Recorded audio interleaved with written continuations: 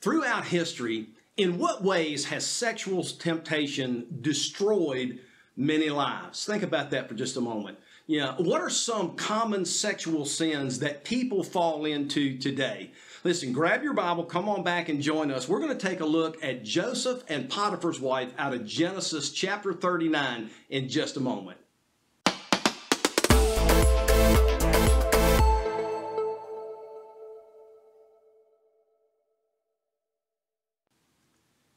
Hey, folks, welcome to the Wednesday evening Bible study of Central Baptist Church in Oak Ridge, North Carolina.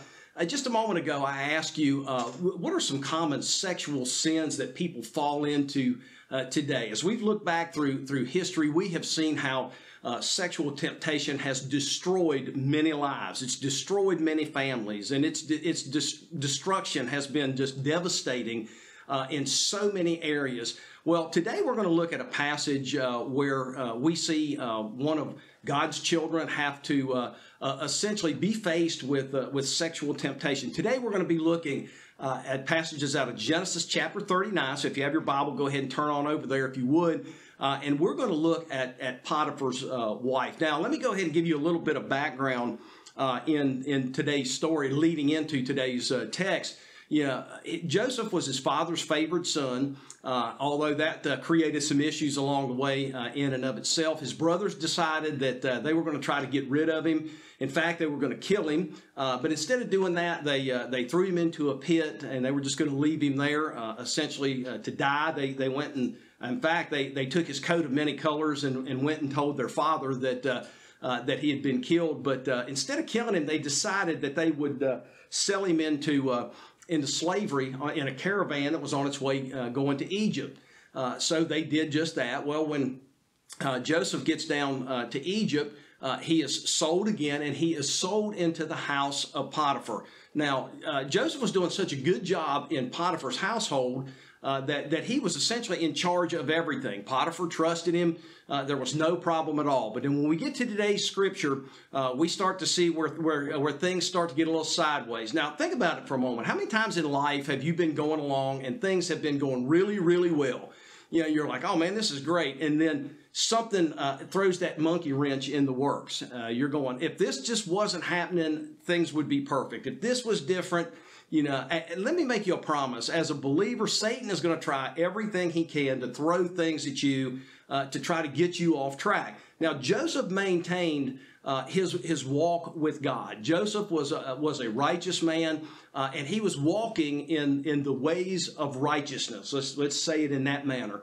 Uh, so when these things began to come up, yeah, I, have often looked at Joseph's life and said, if there was ever a guy you know who had the right to say, "Lord, why me?" Yeah, Joseph was that guy. Now, some of you that are that are viewing this broadcast uh, this evening are thinking the same thing. In your life, you've thought, Lord, why me? You know, I'm trying to do the best I can. Why does it seem like uh, those who are not your children uh, prosper, and yet those that are that are trying to do right just keep hitting roadblock after roadblock, speed bump after speed bump? Well, you know, we're going to look at, at uh, one of uh, Joseph's temptations in our passages that we're going to look at today. So turn with me, if you would, Genesis chapter 39, and uh, we're going to look at uh, that, that chapter. It's essentially 23 verses. Um, so uh, just bear with me as, uh, as we take a reading of them. Genesis chapter 39, beginning with verse 1, it says, Now Joseph had been taken down to Egypt, and Potiphar, an officer of Pharaoh, captain of the guard, an Egyptian, bought him uh, from the Ishmaelites who had taken him down there. Uh, the Lord was with Joseph, and he was a, a, successful man, and he was in the house uh, of his master, the Egyptian. Verse 3 And his master saw that the Lord was with him, and that the Lord made all that he did prosper in his hand. So Joseph found favor uh, in sight and served him. Uh, then uh, he made him overseer of his house. And all that, that he had, he put under his authority. Verse 5 So it was uh, from the time that, that he made him overseer of his house, uh, that all that he had, that the Lord blessed the Egyptian's house for Joseph's sake, uh, and the blessing of the Lord was on all that, that he had in the house and in the field. Thus, he left all that he had in Joseph's hands, and he did uh, he did not know what he had except for the bread which he ate. Now Joseph uh, was a handsome, uh, was handsome in form and appearance, and it came to pass after these things that his master's wife cast uh, longing eyes on Joseph, uh, and she said, "Lie with me." But he refused uh, and, and said to his master's wife, "Look, my master does not know." Uh, what is is with me in in the house, and he has uh, committed all that he has into my hand. Uh, there is there there is no one greater in this house than I, nor has he kept back anything from me uh, but you, because you are his wife. How then can I do this great wickedness and sin against God? so it was that as she spoke to Joseph day by day, that he did not heed her to lie with her or to be with her. But it happened about this time when Joseph uh, went into the house uh, to do his work, and none of the men of the house was inside, that she caught him by his garment, saying, Lie with me. But he left his garment in her hand and fled and, and ran outside. Verse 13 So it was when she saw uh, that, that he had left his garment in her hand and fled outside that she called to the men uh, of her house and spoke to them, saying, See, uh, he has uh, brought in to us a, Hebrew to mock us. He came in. Uh, he came in to me to lie with me, and, and I cried with a loud voice. Uh, and it happened uh, when he heard that I lifted my voice and cried out that he left his garment with me and fled and went outside. So she kept his garment with her until uh, until his master came home. Verse 17, then she spoke to him with words like these, saying, The Hebrew servant whom you brought to us came in to me to mock me. So it happened as I lifted my voice and cried out that he left his garment with me and fled outside. And so it was when his master uh, heard the words which his wife spoke to him, saying, Your servant did to me uh, after this manner that his anger was aroused. Then Joseph's master took him and put him in the prison, a place uh, where the king's prisoners were confined. Uh, and he was there in prison. But the Lord was with Joseph and showed him mercy and gave him favor uh, in the sight of the keepers of the prison. Uh, and the keepers of the prison uh, uh, committed to Joseph's hand all the prisoners who were in the, in the prison. whatever they did there, uh, it was his doing. Uh, final verse 23 says, The keeper of the prison did not look into anything that was under Joseph's authority because the Lord was with him. And whatever he did, the Lord made it prosper. Let's pray together. Father, as we come to you this evening, we just ask that you would give us insight into your word. Lord, we realize that uh, each and every place that, that we go and in each and everything that we do, Satan is doing his very, very best to, to tempt us and to try to trip us up. And Lord, uh, it, it is amazing that in the area of uh, sexual misconduct, that Satan just tries to capture God's people and pull them astray. Lord, I pray that we will be able to take uh, notes of what we read today about Joseph, that we might make applicable to our lives, that we could truly resist temptation of all kinds but especially sexual temptation. Lord, we realize that the, the world does not like you, and because it does not like you, it does not like us, and therefore it is after us. Lord, help us to not grow weary in well doing along our journey. Father, be with me, your messenger for these moments, that you would truly be high and lifted up. Draw all men unto you, Lord, is our prayer. In Jesus' name, amen.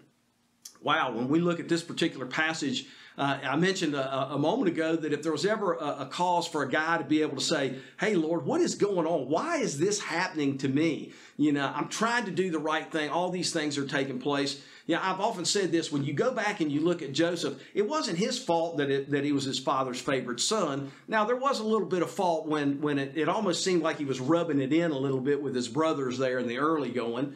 Uh, but yet, that still, it wasn't his fault. It wasn't his fault that he was uh, sold into slavery. It wasn't his fault that uh, uh that he was sold into Potiphar's household. It wasn't his fault that that, that he was a good-looking man. Uh, it wasn't his fault that that Potiphar's wife had eyes uh, for him. So therefore, you know, he's sitting back going, what could I have done to make things any different? Now, I want to just interject something right here that God has a plan and God has a purpose for each and everything that happens and takes place in our life. As we look at the life of Joseph, uh, and I may get a little bit ahead of myself right here, we can see how everything that happened in his life was God bringing him to where he wanted and needed for him to be to accomplish his will uh, his purpose and his glory. We know that in, the, in this uh, particular story of Joseph, that later on his own family would even have to come to him for food, which without uh, they would have they would have suffered and died. So that's a that's a little bit of a freebie. That's a, that's on out there ahead. But let's look at what's taking place in these particular passages. Uh, that, that are our focus uh, today. So, in our story, Joseph was sold as a slave to Potiphar, who was an Egyptian officer. Now, even in his great affliction, there was somebody, according to verse 1 and 2, that was with Joseph, and we know who that was. God was with him. In, in the greatest times of his affliction, God never left him, God never forsook him. And, and, and in fact, one of the things that the word tells us, particularly in this story of Joseph, not only in our text for today, but the whole story of Joseph goes on and it says that everything that Joseph did prospered uh, because he had turned it over to the Lord. Uh, there were a series of good things that happened uh, in Joseph's life simply because the Lord was with him. Even in the text that we're, that we're looking at uh, this evening, it talks about how when he went into Potiphar's household, you know, Potiphar saw that everything Joseph did prospered. So he pretty much put everything in his household into Joseph's hands. And in fact, the word says uh, that Potiphar didn't even know what he had. He said all, all he knew was that he showed up for dinner and dinner was there. He didn't know as far as uh, money wise what he had. Uh, Joseph ran the household and did a phenomenal job because God was blessing him along the way. Uh, just just a couple of the good things that we see that are going on in Joseph's life, even in the midst of the tragic things that are taking place. Okay, now when we walk close uh, uh, close with the Lord, uh, we have to watch out for Satan. Satan is always out there trying to uh, throw this snare out. He's always trying to do something uh, to, to trip us up or, or to catch up. Uh, so what happened was Satan did something to Joseph there in verse seven. Let's go look at verse seven. verse seven tells us this. It says that, that, that after it came to pass that, that after these, these things, that his master's wife cast longing eyes on Joseph, and she said, Lie with me. Potiphar's wife was very upfront. She looked at Joseph. She said, This guy is a handsome fella. You know, I think I want to lie with him. Now, for the sake of maybe children being around, uh, you adults understand what I'm talking about. What she actually went and asked of him. She didn't beat around the bush. She said, Joseph, I want you to lie with me. Now, verse 8 goes on and says, But he refused uh, and said to his master's wife, Look, my master does not know uh, what is, is with me in the house. Now, that, that could have meant a lot of things. That meant he doesn't know how much money he's got, he doesn't know any of that because it's all been entrusted to me. I think it also means that he doesn't understand how you are. Uh, my master doesn't understand what you are doing in seducing me and what you are doing by coming to me uh, with this request. Verse 8, but he refused and said to his master's wife, Look, my master does not know what is with me in the house, uh, and he has committed all that he has into my hand. Joseph was grateful uh, for that fact. Joseph uh, realized his position, and it was a position that, uh, that, that he took very seriously. Now, folks, I want to tell you that even in the midst of things that seem to be going sideways in your life, begin to look around for God's blessing. Begin to look uh, around at where you are. I love how the word tells us this. It says that we need to, whatsoever state we're in, therewith, to be content. Are you content in the state that you're in? Now, I don't mean do you want to stay in those particular places. I'm sure that that, that Joseph wasn't happy that, that his brothers didn't like him. He wasn't happy that he was sold into slavery. He wasn't uh, happy that, that he was considered a slave rather than a, a, a free citizen. But even in the midst of all that, God was continuing to prosper him and continuing to bless him uh, in such a fashion that could be used for his honor, for his glory. So if you find yourself in that situation where you're like, I don't like where I am, begin to look around and see where you see God showing up in the midst. Begin to see where God's hand is at work in your life and where he is trying to use you to bring about honor and glory uh, for his name. So, you know, Satan uh, approaches him essentially through, through his master, which is Potiphar, through his wife, uh, and puts a very tempting situation out there in front of, uh, in front of Joseph. Uh, so, how did Joseph respond to this seductive invitation of Potiphar's wife? Well, verses 7 through 9 uh, tell us a little bit more about that. Now, folks, you got to understand, this wasn't a one shot deal. It wasn't where Potiphar's wife came in and said to Joseph, Lie with me. And Joseph said, Man, I can't do that. You know, you, you, I, that's just a. It's not right to do. You know, I am your husband's servant. That's just that's just not the right thing to do. He didn't just say that one time. Uh, evidently, according to the scripture, this was a repeated process. Potiphar's wife kept on approaching uh, Joseph and kept on saying, Lie with me, lie with me. She was being very persistent. Maybe you could say she was nagging him uh, about that situation. And every time uh, Joseph turned her down. Well, if, if you've ever been in that situation where there's been rejection before, particularly if you're in a position of authority or power, much like Potiphar's wife was, they don't like to take no for an answer. So uh, she uh, manipulates the situation. She gets uh, somewhat forceful uh, with Joseph in this situation. She actually lays hold of him. She grabs hold of him and says, I want you to lie with me. Now, Joseph, yeah, but because of the situation, he was almost backed into a corner. It says that she had a hold of his uh, his garment, and, and what happened was trying to get away from her. He even came out of his garment, so she is standing there holding his garment. Now, he did the right thing. He he got away from her. He left. He did not fall to the temptation, and yet because of that cloak in her hand, she used that as evidence against him to bring up the false accusation. She actually accused Joseph of doing something that he did not do. She accused Joseph of doing what she wanted him to do, but yet he didn't do. Now, there's, uh, there's some truth uh, uh, uh realized uh, uh, about sexual sin that many don't seem to realize today. Let's look at verse 9, the latter part of, of verse 9.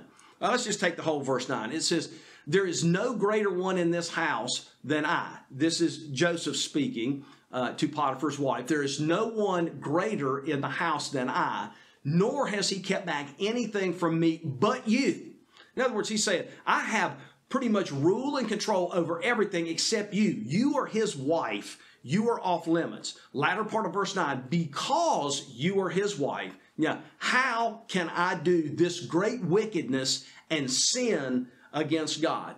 Now, you notice too that he didn't say sin against Potiphar. He didn't say sin against you. He didn't say even sin against my own body. He said sin against God. How can I do this? Folks, let me ask you a question. When is the last time that you looked at the great blessings that God has bestowed in your life and said, How can I succumb to the temptation and do this to, to the God who loves me, the God who takes care of me, the God who provides for me, the God who has, has caused me to prosper. Once again, notice the latter part of verse 9. How then can I do this great wickedness and sin against God? So he's he, he's putting it right out there to her. You know, this is something that, that that Joseph realized. He didn't just all of a sudden realize it. He knew it. He set those boundaries. He knew that was off limits. Folks, we need to set boundaries in our lives, and we need to know that there are certain things that are off limits. Do not mess with temptation. Satan will bait you to the edge of the cliff of temptation, and then when you fall over, he will chastise you for that. Don't fall into his plan. Don't fall into his scheme, especially when it comes down to sexual sin. You know, why do you think, you know, Satan kept coming back uh, with this same temptation day after day after day. You know, remember what we said. It wasn't a one shot deal with Potiphar's wife. She kept on approaching and kept on approaching and kept on approaching. You know, sometimes what happens is people just get worn down with temptation and give into it. Now, let me tell you, Satan is persistent. He knows every little chink in our armor. Now, I'm not saying uh, that, that Joseph, you know, had a problem with, with sexual sin. Obviously, he stood great in the temptation that we're reading about today. But I'll tell you, this is one of the temptations that, that many people succumb to. It is, it, it is very tempting because uh, it is a pleasurable thing. It is something that maybe we want or desire. And the thing that keeps us from doing such a thing are A, marriage commitments, B, the fact that we know that we would be, uh, you know, hurting our God. C, uh, there could be a trail of destruction. If you look back up, nothing good has ever come uh, from from sexual sin. Yeah, I like how the Bible calls it. He, he talks oftentimes that there is pleasure in sin for a season, but what about after that season? I mean, uh, there, there's long term ramifications to these things. So Satan did not give in to Satan's temptation. Now, a lot of you all watching tonight know that. There is there is something in your life Satan knows about it and he just keeps on nagging. He keeps on picking. He keeps on bringing you that temptation time after time day after day after day. It is something that you see on a continual basis and and you sit back and say lord why does this keep on happening listen i want to encourage you continue to stand strong against that temptation you know, before long, Satan's going to have to give up. Before long, now, and, and I say that, but you know, he may not. He may continue to keep on trying to trip you up uh, with the thing. And if you ever notice, it's the things that often we struggle with that Satan loves to keep putting out in, in front of our lives, to keep tempting us with, to keep dangling uh, the carrot out in front of our nose and trying us to go toward it. Now, you know, Potiphar's wife, um, uh, did something on her final attempt to seduce Joseph down there in uh, verses 11 through 12. Let's take a look at what that was. In verses 11 through 12, it says this it says, But it happened uh, that about this time when Joseph uh, went, uh, went into the house to do his work, uh, and none of the men of the house were inside. Wow, Satan has a way of making things happen the way he wants to, doesn't it? Nobody was there. It was a perfect opportunity for Potiphar's wife uh, to essentially go for the juggler when it comes down to the temptation. Okay? Nobody's there except for her and Joseph. Verse 12 says that she caught him by his garment. She laid hands on him. She grabbed a hold of him and said, Lie with me. But he left his garment in her hand and fled running out of the house. You know, I, I, don't know whether Joseph was scared to death in that situation. I don't know what it was. I know that he was extremely uncomfortable with it. But one of the things that he did in light of that was to get away from her because she had a hold of that uh, that cloak. Yeah, he even spun around, got got out of it, and left it. He said, "I'm not going to stay around. I am going to do actually what the Bible tells you and I to do: flee from temptation." Don't flirt with it. Don't get close to it. Don't even try to keep it at arm's length. Get away from it. And Joseph did just that. Now, there were some ways uh, that, that, that Joseph gives us an example to follow when we're facing sexual temptation. Get away from it. That's what he can teach us. Remember what we've said. We've always looked for examples to follow in God's Word as we do our Bible studies. This is a great example to follow. When you realize that you are in the midst of that temptation, you need to start looking for the way of escape. God's Word tells us there hath no temptation given you but such as is common to man. But God is faithful. He'll not suffer you to be tempted above that you're able, but will with the temptation provide a way of escape that ye may be able to bear it. So don't sit there and flirt with it. Get away from it, even if it means leaving your cloak uh, in the hand of the adversary. Okay, this is a great example for you and I to follow. And when, and I'm talking about Joseph, obviously, great example to follow. Get away uh, from the temptation. We have to flee. We have to run from it. I'm going to share a verse with you out of 2 Timothy uh, chapter 2, verse 22.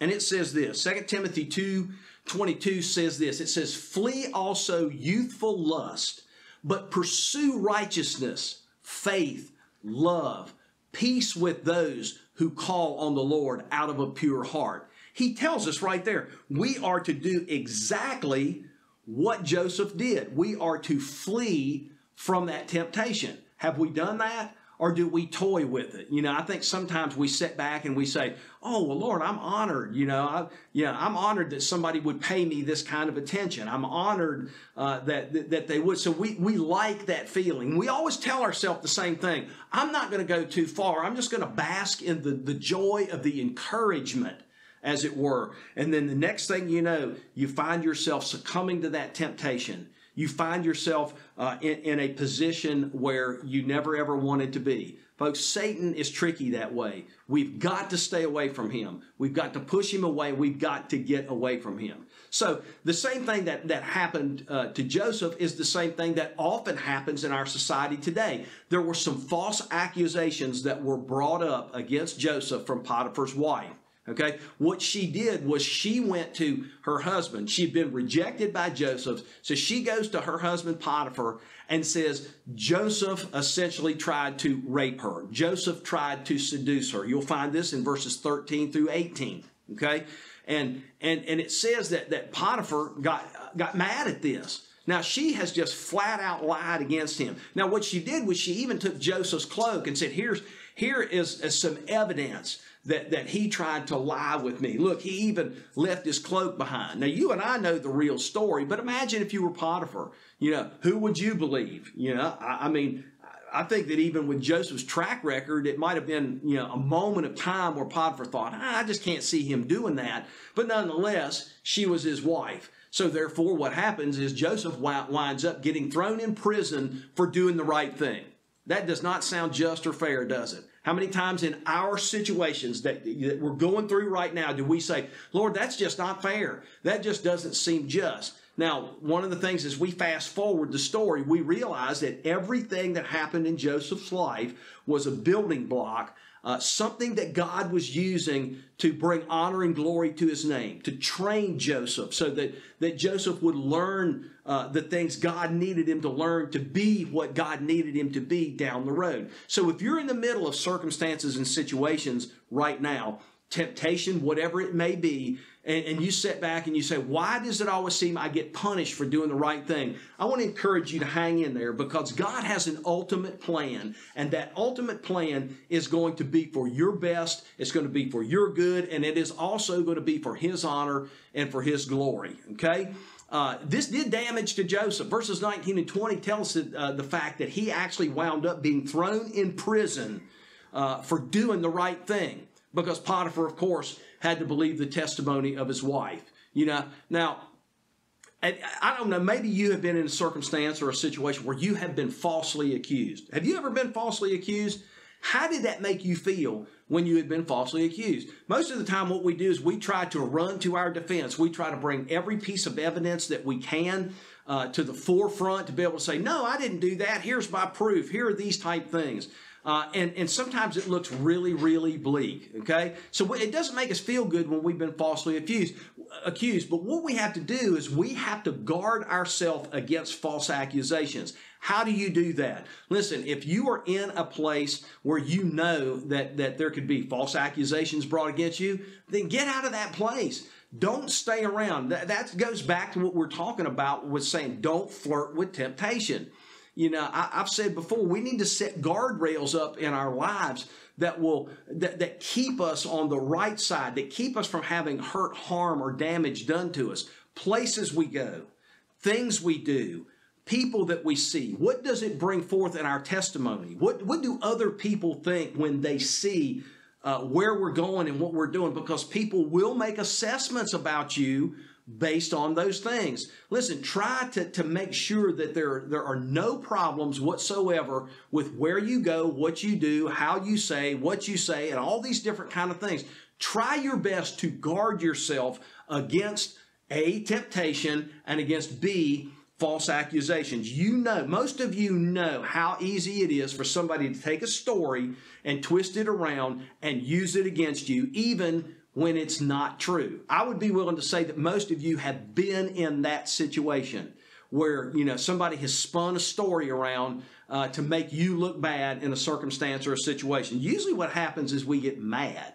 That's what happens. We get mad. We come to our defense, and then sometimes when I say we get mad, we get mad at the people uh, who made us victims. We get mad at the circumstance, and sometimes we even get mad at God God, if you know, why can't you just change this around? You know I didn't do anything wrong. Could Joseph have said that? Yes, he could have. He could have very easily said, I didn't do anything wrong. Why is it that I'm in this predicament, God? So if that's where you are as you view this uh, this message tonight, I want to caution you. I want you to be very very careful that you look at the circumstance and take it as a building block for where God wants you to go and what God wants you to do. You know, you're like Joseph.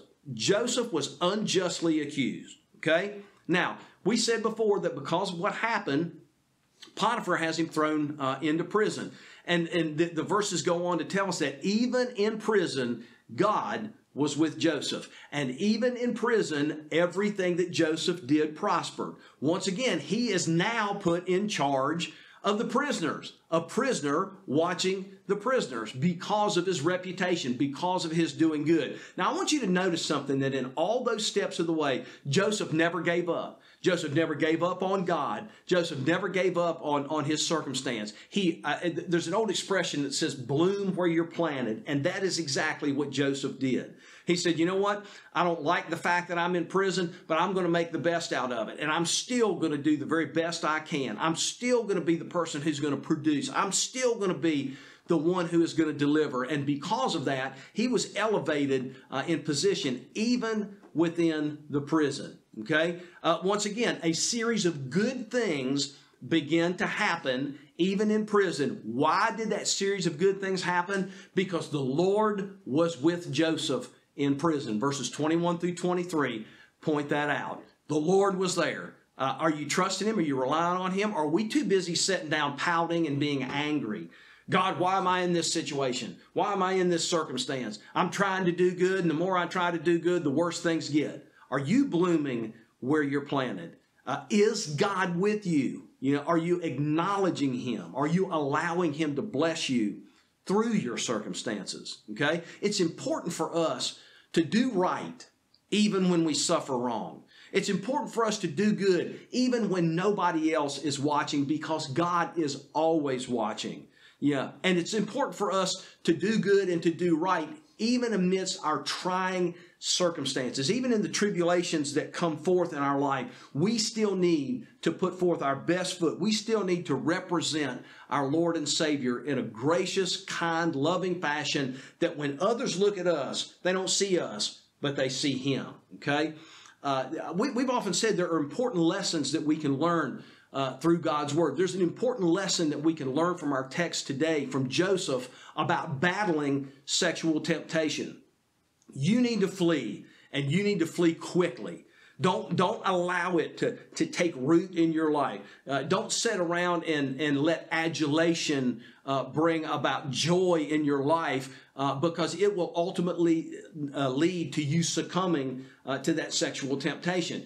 Do it just like Joseph did immediately. When evil lays hands on you, when temptation lays hand on you, regardless of what kind of temptation it is, even if you have to leave your cloak, get away from it. That's what the word tells us to do. It says we need to flee from those things. We must not give in to sexual uh, temptations because they lead to great distress down the road. Never once has there ever been somebody that I have sat and counseled with that said, you know what, I'm so glad uh, that, that, that I had an affair. I'm so glad I did these things. No, there's damage along the way. It damages you. It damages your partner. It damages your family. It damages your children. It damages your reputation. It damages your job. And the list goes on and on and on and on. Folks, I beg you today, do not give in to sexual temptation in particular, but to any temptation. Turn it over to God. See what He's trying to do in your life through that. Bloom where you're planted. And the way that you do that is honor God even in the midst of the trials, even in the midst of the situations that you don't like being in. Okay? Even in the worst of times, there are things that we can learn from Joseph about trusting the Lord. We have to give the situation over to Him and we have to say, you know what, I don't like being here, but I'm going to do the best I can do uh, with all of my heart as unto the Lord. Uh, to be able to be what God wants me to be right here because God knows where I am. God has allowed me to be here, and God has something that He either wants me to do or wants me to learn while I'm here. And here's the really interesting part that those same lessons hold true to you and I. You're not where you are by accident. I'm not saying God put you in that situation, but I am saying God has allowed you to be in that situation. And in doing so, it can bring him honor and it can bring him glory. So let me ask you this Are you giving in to the temptation?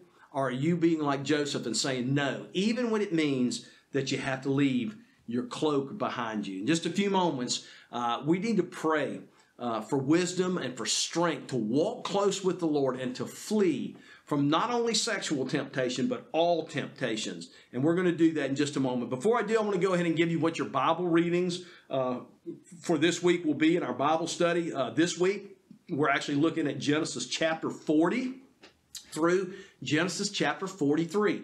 Once again, that's Genesis chapter 40 through Genesis chapter 43. Next week, uh, we're going to look at Joseph being exalted out of Genesis uh, chapter 41, verses 37 through 57. I do want to give you a reminder. Don't forget that on Easter Sunday, as we're approaching that, on Easter Sunday, we're going to be having a fellowship breakfast here at the church at 9:30 a.m. Uh, and then we will follow that with our uh, our Easter uh, Sunday service at 10:45 a.m. to celebrate the resurrection of our Lord, to celebrate our resurrected Lord uh, as we go forward. We would love to have you come and join us for that. Again, that's going to be Easter Sunday morning, breakfast at 9.30, uh, resurrection message at 1045 uh, a.m. Invite some friends, come on and be a part of some great things that are going on. Let's look to the Lord in a word of prayer. Father, as we come to you uh, this evening, we just ask you to give us wisdom. We ask you to give us uh, strength to be able to walk close uh, to you and to walk in your word in a way